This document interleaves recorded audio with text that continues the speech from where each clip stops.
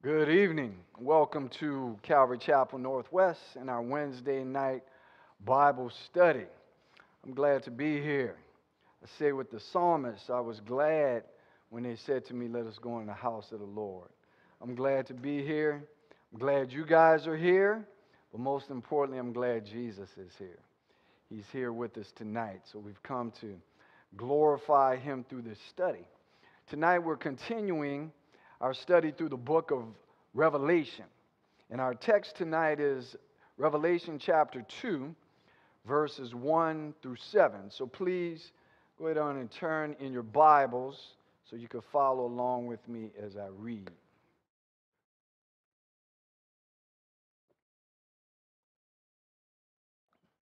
Revelation 2, starting in verse 1.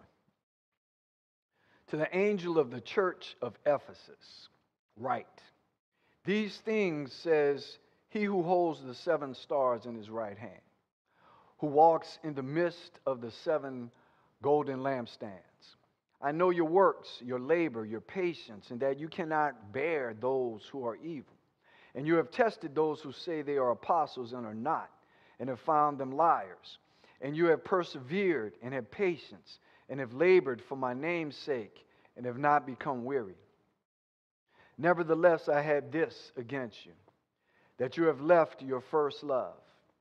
Remember, therefore, from where you have fallen. Repent and do the first works, or else I will come to you quickly and remove your lampstand from its place, unless you repent. But this you have, that you hate the deeds of the Nicolaitans which I also hate.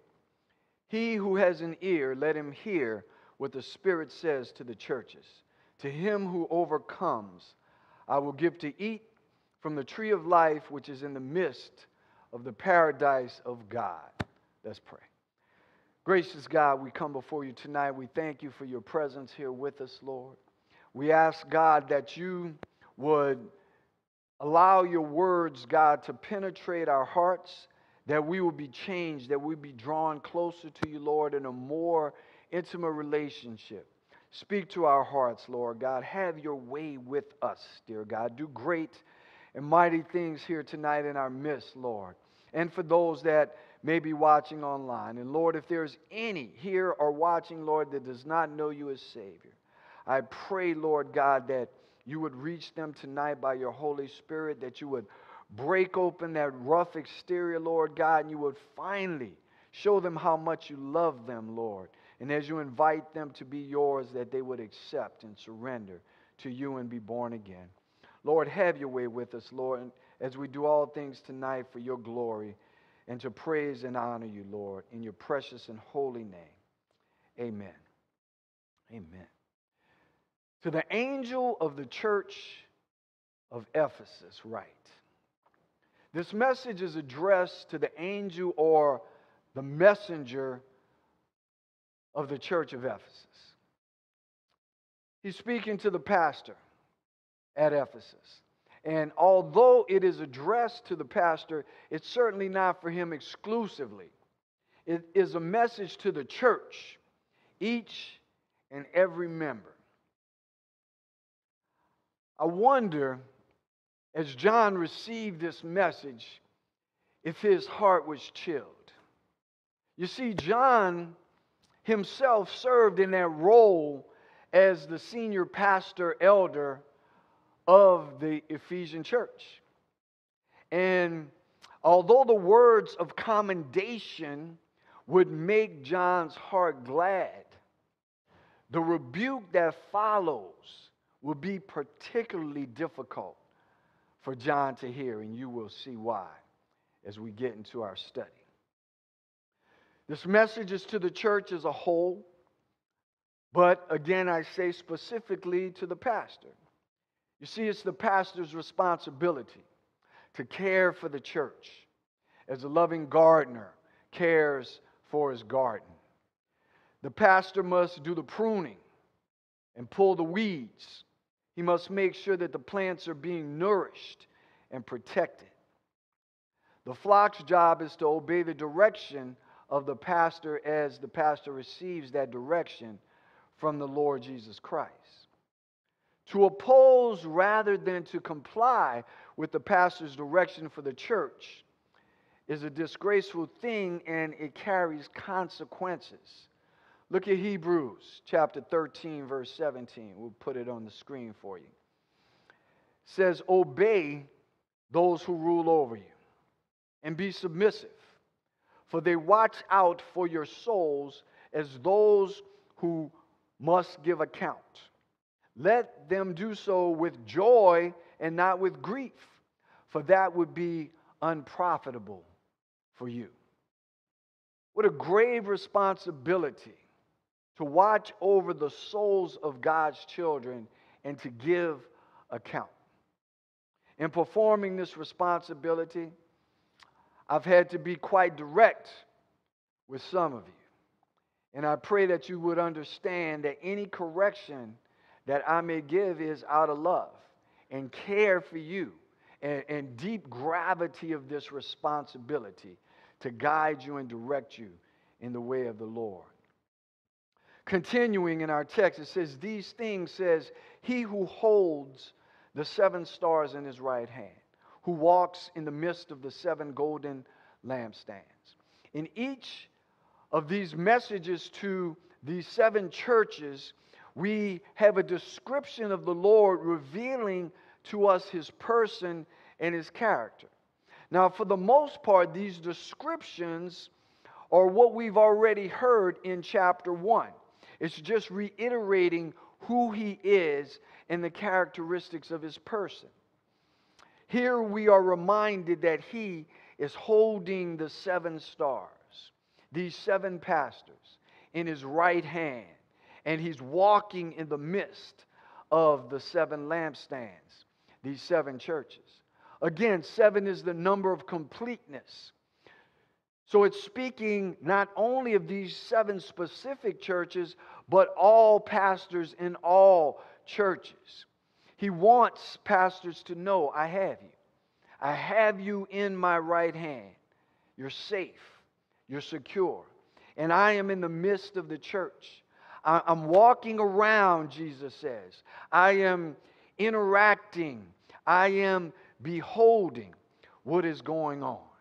Verse 2 I know your works, your labor, your patience. I know your works.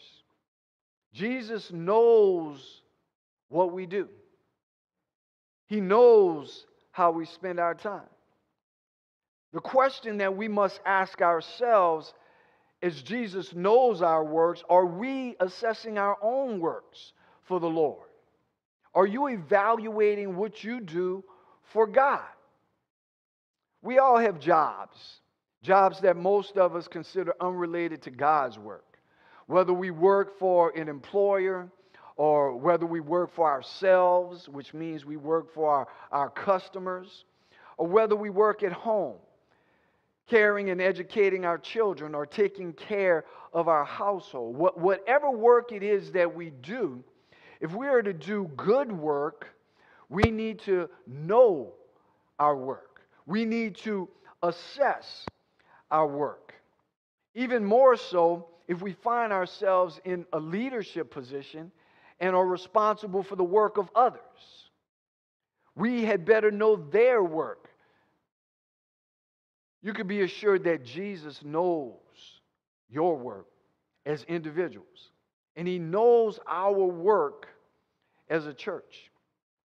He knows what you do. He knows how you do it. He knows the quality and the quantity of your work. Jesus knows every bit of your work and he will judge your work. 2 Corinthians chapter 5 verse 10 says for we must all appear before the judgment seat of Christ that each one may receive the things done in the body according to what he has done, whether good or bad. This, this judgment being spoken of in 2 Corinthians chapter 5 is called the Bema Seat judgment. It's a judgment for believers. It's not a judgment for unbelievers, it is for the unsaved. It's not a judgment for salvation. That issue has already been settled for those who have come to Christ. for salvation. It's a, a, a judgment of works. Will you be rewarded or will you suffer loss? Is what this judgment would decide. Look at 1 Corinthians 3 12 through 15. It says, Now, if anyone builds on this foundation, speaking of the foundation which is salvation in Jesus Christ, if anyone builds on this foundation with gold, silver, precious stones, wood, hay, straw, each one's work will become clear. For the day will declare it, that day of judgment.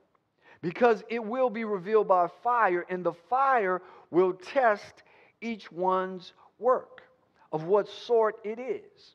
If anyone's work which he has built on it endures, he will receive a reward. If anyone's work is burned, he will suffer loss. But he himself will be saved, yet so as through fire. God knows your works. He knows what you are doing, and He will judge you. When I was in the Army, you just wouldn't believe, some of you would, you've been in the military. You know what someone would do just for a piece of metal hanging on their chest, right? Or that ribbon. How much more should we labor for eternal rewards that we will receive in heaven? Rewards from Jesus. It's one thing to receive a medal and, and be thanked by a grateful nation for your service, but it's quite something else to hear the words of Matthew 25 23. Well done, good and faithful servant. You have been faithful over a few things. I will make you ruler over many things. Enter into the joy of your Lord. This should be the objective of our lives every single day to, to work for the Lord in such a way that we would earn those rewards that He prepared to give us. He has prepared us for them. I know your works, your labor, your patience, and that you cannot bear those who are evil. We'll address labor and patience when we get to verse 3. But I want you to know that Jesus is commending this church at Ephesus. Jesus is saying, I know what you do. I walk in your midst. I know your works, your labor, your patience, and that you cannot bear those who are evil. We need to love what Jesus loved, and we need to hate what Jesus hates. If you're born again believer, if your life has been transformed by faith in Jesus Christ, then you should hate evil. What you love and what you hate should be rooted in God's word. That is where we find the standard for what we should love and what we should hate. Now, we as Christians, we often get a bad rap, don't we? We're, we're often accused of hating people, and nothing could be further from the truth. Just as Jesus died for all people because of his great love for them, we love all people with Jesus' love. The accusation of hate is simply a diatribe designed to make you compromise the truth. It's designed to force you to accept that which is evil. Don't fall for it. I don't hate people. I know you don't hate people. I don't hate sinners. Sinners are the object of our ministry. The Bible tells us that Jesus came into the world to save sinners. And we, having been reconciled by God, have been made ministers of reconciliation. I love sinners, but I hate their sin. I hate their sin because it is keeping them from God. Their sin results in pregnancies out of wedlock murder of innocent children in abortion clinics, drug abuse, broken families, broken lives, depression, despair. Sin if not forsaken, for trust in Jesus will condemn to an eternity in hell. So while I love the sinner for whom Jesus died, I hate their sin. To truly love is to be bold enough to tell a sinner what the consequences of their sin is. That's real love. Real love is not making allowance for someone's sin. It's not coddling someone in their sin. It's letting them know the consequences of their sin and helping them out of their sin, not helping them in their sin. He goes on, Paul does, or John does, and you have tested those who say they are apostles and are not, and have found them liars. It's imperative that pastors and also members of the flock be on guard for those who claim to be messengers from God and seek to influence the body of Christ. The Apostle Paul warned the Ephesians in his emotional address to them when he was, he was leaving them. After spending three years ministering to them, he was departing, saying that he would probably never see their face again. Look at his words with me in Acts chapter 20. We're going to look at verse 17 to 21 and then verse 25 through 27 starting in verse 17. From Miletus, he sent to Ephesus and called for the elders of the church. And when they had come to him, he said to them, You know from the first day that I came to Asia in what manner I always lived among you, serving the Lord with all humility, with many tears and trials, which happened to me by the plotting of the Jews. How I kept back nothing that was helpful, but proclaimed it to you and taught you publicly and from house to house, testifying to Jews and also to Greeks repentance toward God and faith toward our Lord Jesus Christ. Now, verse 25. And indeed, now I know that you all, among whom I have gone preaching the kingdom of God, will see my face no more. Therefore, I testify to you this day that I am innocent of the blood of all men. For I have not shunned to declare to you the whole counsel of God. What a testimony. What a testimony. That is the testimony we should all aspire to. When we are leaving those to whom God has called us to minister to for a time, that is the testimony we want to have. Maybe you're leaving a job and moving on to something else. Or if you're in the military, you're being transferred.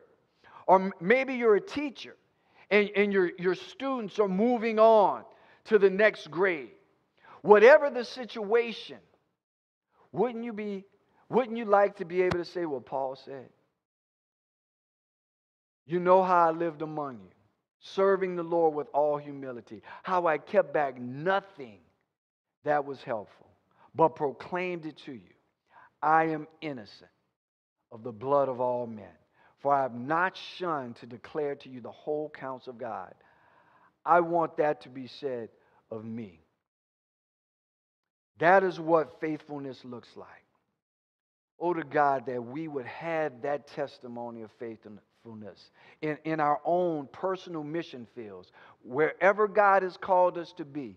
That is our mission field for Him. Paul continues in verse 28, warning them. He says, Therefore, take heed to yourselves and to all the flock among which the Holy Spirit has made you overseers, to shepherd the church of God, which he purchased with his own blood.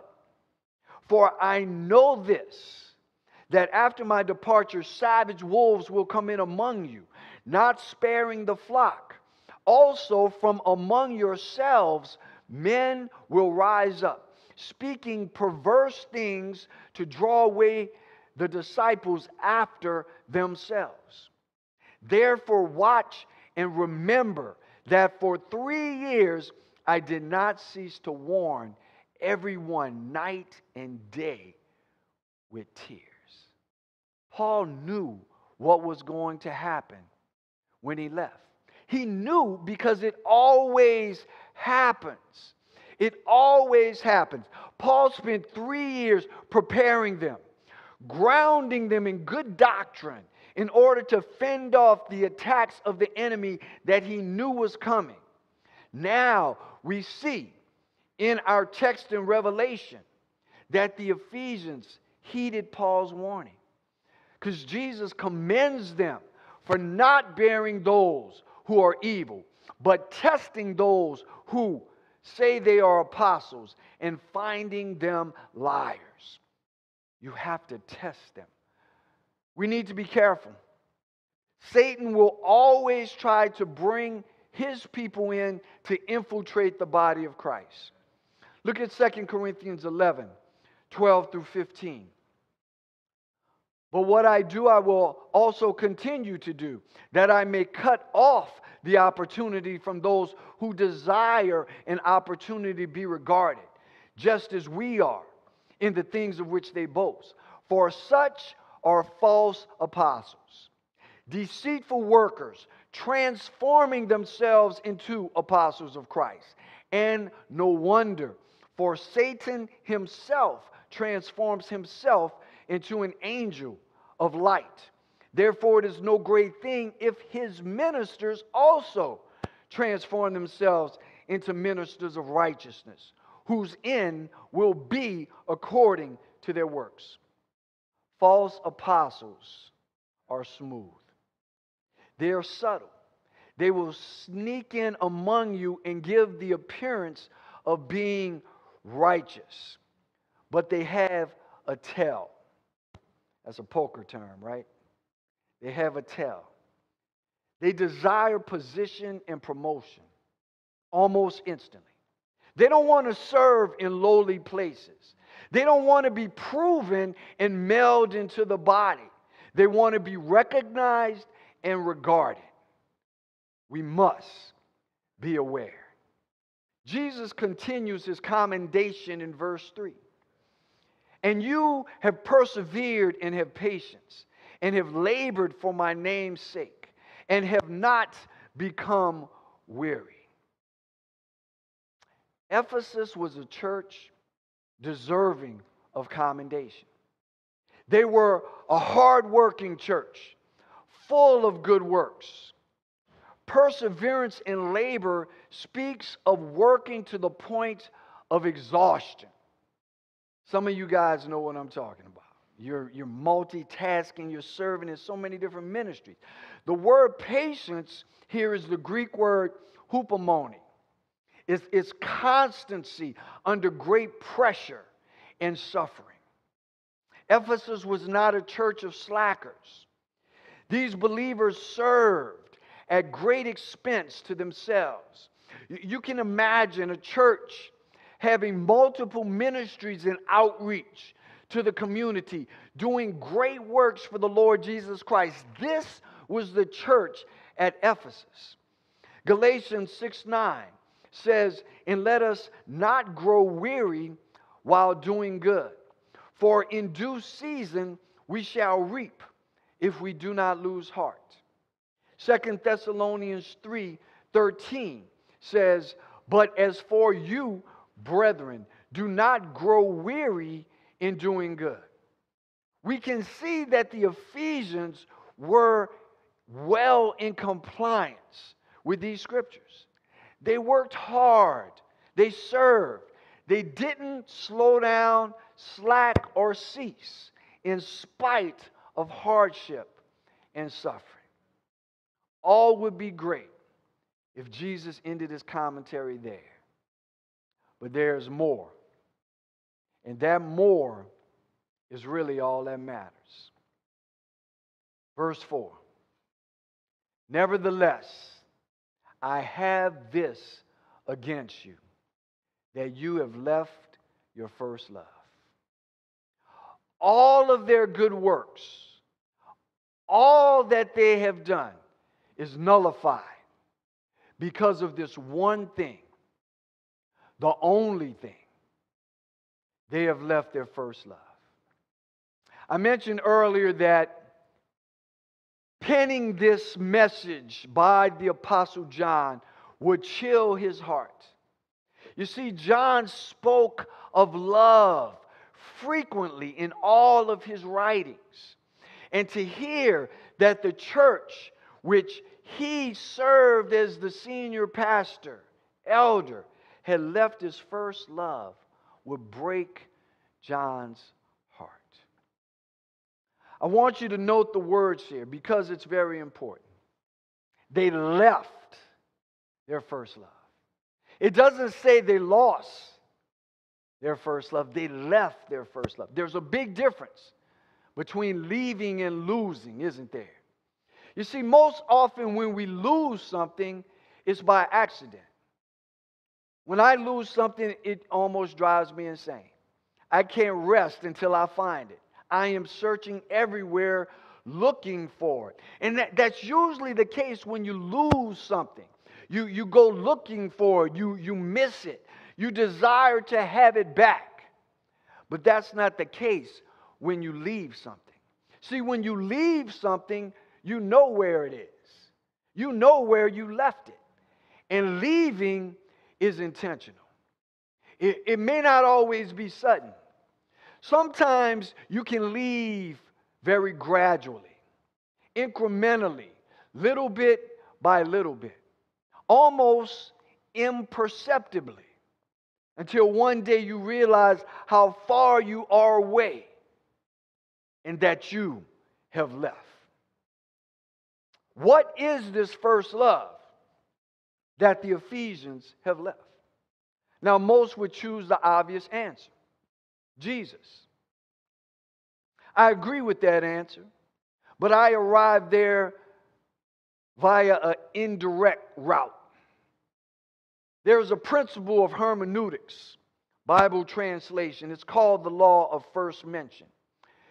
It says that when something is mentioned in the Bible for the first time, that meaning usually continues throughout.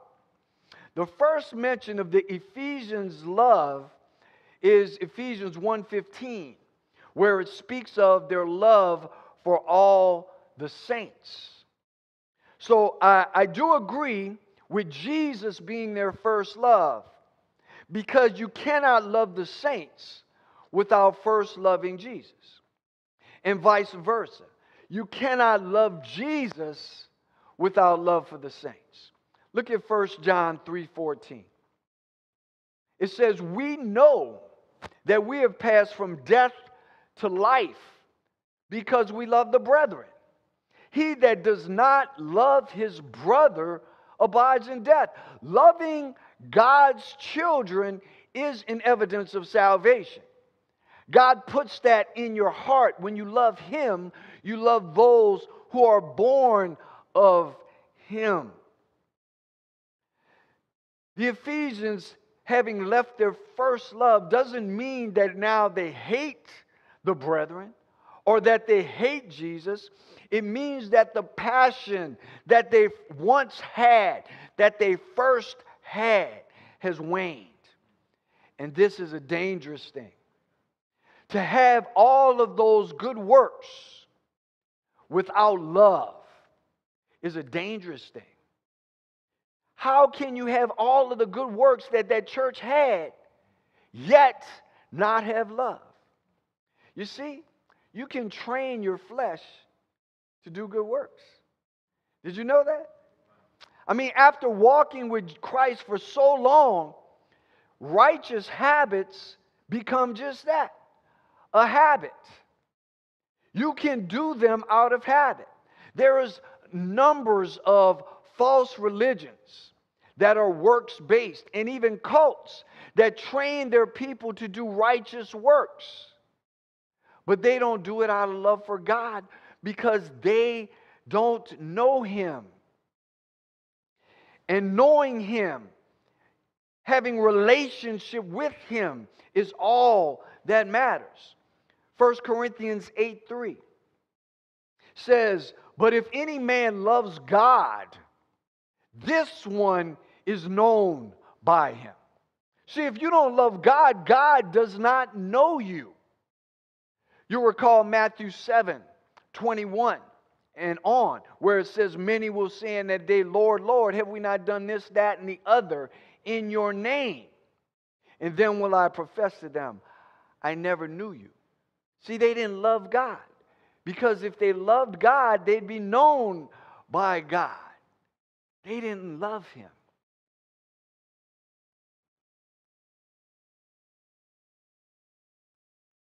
Romans 14 23 says, But he who doubts is condemned if he eats, because he does not eat from faith. For whatever is not from faith is sin. The Ephesians had plenty of work for God, but any work done for God must be done in faith. And faith and love are intertwined and cannot be separated. Galatians 5 6 says, For in Christ Jesus, neither circumcision nor uncircumcision avails anything but faith working through love. Faith and love are intertwined and cannot be separated. In talking about love, I need to say this. It's important that I say this. Love is not an emotion. Love can certainly be emotional, but love is not an emotion. I'm not going to get into the Greek, breaking down the different words for love. We don't have time. It's going to be a long message anyway. You know, if you want that breakdown, go back to the website and look up my study on 1 Corinthians 13. I break it down there, I believe. But what I'm going to say and repeat it is love is not an emotion. You cannot rely on the emotions of love. When you're feeling it, go for it. It's all good when you're feeling it, but you can't rely on it. I love to feel that emotion of love for my wife. And I feel that emotion with great fervency the vast majority of the time. But let me make a confession. I don't feel it all the time, right? Sometimes, sweet Kellyanne might say or do something that offends me or hurts me, and I might not feel that love for her at that moment. But that doesn't mean I stop loving her, right? If a Christian husband comes to me and tells me, you know what, Pastor, I don't love my wife anymore. You know, I've fallen out of love with her. You know what I'm going to tell him? Repent. Repent. Love is not an emotion. Ephesians 5:25 says, "Husbands, love your wives, just as Christ also loved the church and gave himself for her." Love is a choice. If you're a believer and you don't love your wife, repent and love your wife. It is a command. Love your wife as Christ loved the church. Love is a choice. If you find yourself cheating on Jesus, then you are leaving your first love. What do I mean by cheating on Jesus? If you find yourself sinning with no conviction, you've left your first love. If it's getting easier and easier for things that you know you shouldn't do, to do those things, you have left your first love. If you're constantly falling into immorality, if you're enjoying spending more time with unsaved friends than with believers in Christ having fellowship in Jesus, you've left your first love. Husbands, if your passion for your wives is cooling, you're leaving your first love. Wives, if your respect for your husbands is lacking, you are leaving your first love. And this one is for everyone man, woman, boy, and girl. if you go by the name of Jesus, if you spend all of your time thinking only about yourself and your problems, you're losing your first love. You're losing your first love. Because to love Jesus is to love others before yourself. Bible tells us to esteem others greater than ourselves. Jesus gave us the example of servanthood. He didn't think about himself. Jesus came and suffered and died for you and for me. And the love that he had for us wasn't ooey gooey emotional love. It was the choice that he made to love us when we were yet sinners. The Bible tells us Christ died for us. Love is a choice. Emotion is great when it's there. Ride it. I love it. I love when I have that emotion for God. But don't rely on emotion because emotion isn't always there. Love is a choice. What is the solution if you're losing your first love? Verse 5 Remember, therefore, from where you have fallen. The first thing to do is remember. 2 Peter chapter 1 verse 12. Peter says, "For this reason I will not be negligent to remind you always of these things, though you know and are established in the present truth." See, sometimes we need a reminder. Sometimes we need to remember. We need to look back and remember when we first fell in love with Jesus. For me, and I'm sure for most of you, that would be the day He saved me. The day that I knew my sins were forgiven and I was going to heaven.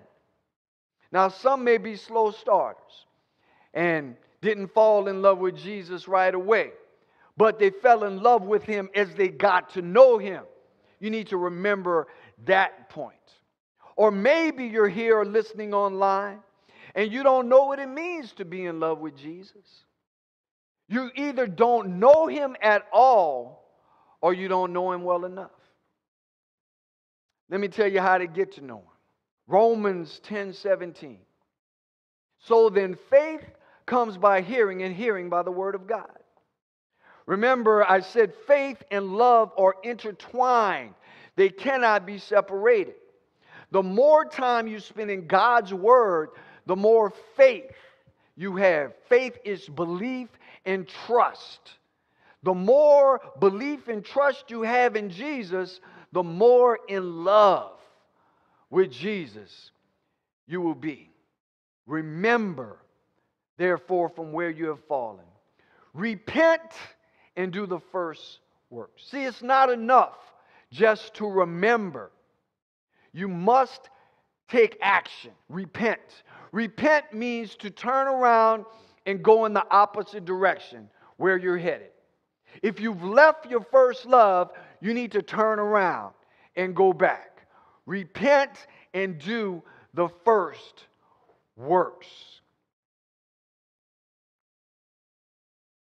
You need to engage your will.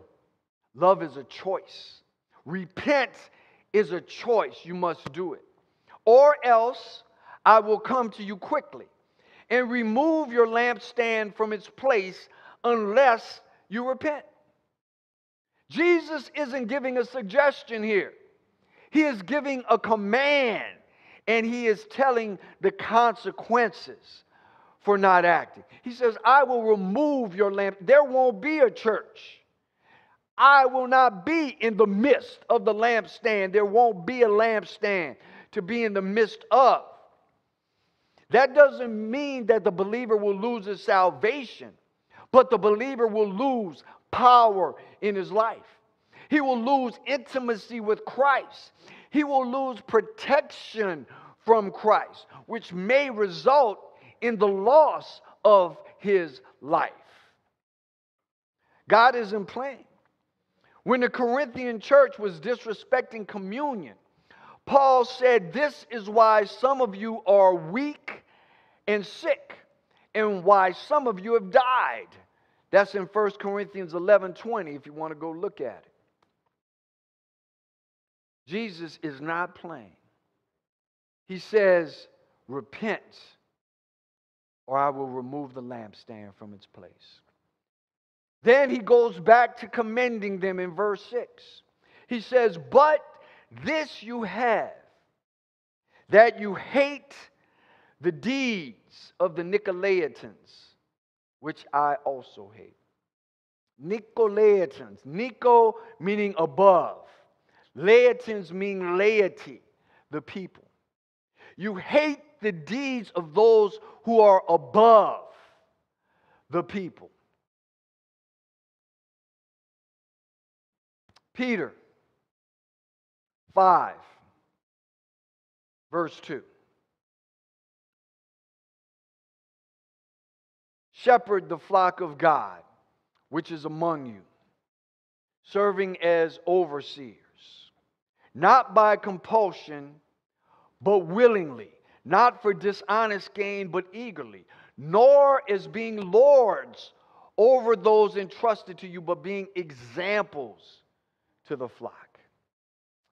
Jesus hates the deeds of the Nicolaitans, those that put themselves above the people. What did Jesus say when he was walking the earth about the Pharisees? They love to be called Father. They love to be in the midst of the people. They love to put themselves above. Jesus hates that. Jesus has called us all to be one. There is no levels in Christ. We are all one. I don't get to wear a big hat and you bow down and kiss my ring. Jesus hates the deeds of the Nicolaitans, and so did the church at Ephesus, who was well taught by the Apostle Paul and the Apostle John. Verse 7 Jesus says a phrase that he will repeat to each church He who has an ear, let him hear what the Spirit says to the churches. It is for everyone. He who has an ear to hear, let him hear. And to this specific church, to him who overcomes, I will give to eat from the tree of life, which is in the midst of the paradise of God. The tree of life. When was the last time we saw the tree of life? The Garden of Eden. The Garden of Eden. Adam and Eve had access to the tree of life because they had access to all the trees in the garden. And they were only forbidden to eat from one tree. They weren't forbidden to eat from the tree of life, but they chose the tree that was forbidden. And once they sinned and they died spiritually, Jesus put them out of the garden. And he put an angel with a sword there so they couldn't have access to the tree of life and live forever in a fallen state, in an unredeemed and unregenerated state. But here, in these last days, he's looking prophecy ahead, the tree of life is restored. And to him who overcomes, I will give to eat from the tree of life, which is in the midst of the paradise of God. God is promising paradise, glory for the ones who overcome. The Bible tells us that we are more than overcomers through him that loves us. The battle is already won. All we need to do is just be obedient. All we need to do is walk with Jesus. All we need to do is be careful not to leave our first love. Let's pray. Gracious God, we thank you, Lord, for your presence. We thank you for your word, Lord. We thank you that you have done all the work for us. God, your word tells us that it is you who work in us both to will and to do of your good pleasure. God, you have given us your spirit. You have given us everything. You have given us all things that pertain to life and godliness. All we need to do is just deny our flesh. All we need to do, Lord God, is just humble ourselves and present our bodies as living sacrifices to you. Gracious God, I pray now that if there's anyone listening to this message that does not know you as Savior, that does not have that relationship of intimacy and love with you, that right now, Lord God, as they reach out for you, Lord, and as you call them, as they believe that you are God, that you shed your blood on Calvary's cross, that you were crucified, buried, and you rose again from the grave. As they open their hearts to receive you, your word says, Whoever calls on the name of the Lord Jesus shall be saved. If that's you, simple prayer Lord Jesus, save me. He will save you if you cry out from a true and repentant heart, willing to turn away from your sin. Receive Jesus now as your Savior. Saints of God, if you have strayed, if you have wandered away, if you are leaving your first love, please repent. Turn. Go back to Jesus where you will find safety, where you will find the peace of God that passes all understanding. You will not regret it. Lord God, we love you. We thank you. We praise you for your presence. We ask that you continue to dwell with us, Lord God. Guide us as we go home and dismiss us, Lord Jesus, in your presence. We love you. We thank you. We praise you in your name. Amen. God bless you guys. We love you. Hope to see you Sunday for um, service at 1 o'clock as we continue in the book of Ephesians. God bless you and good night.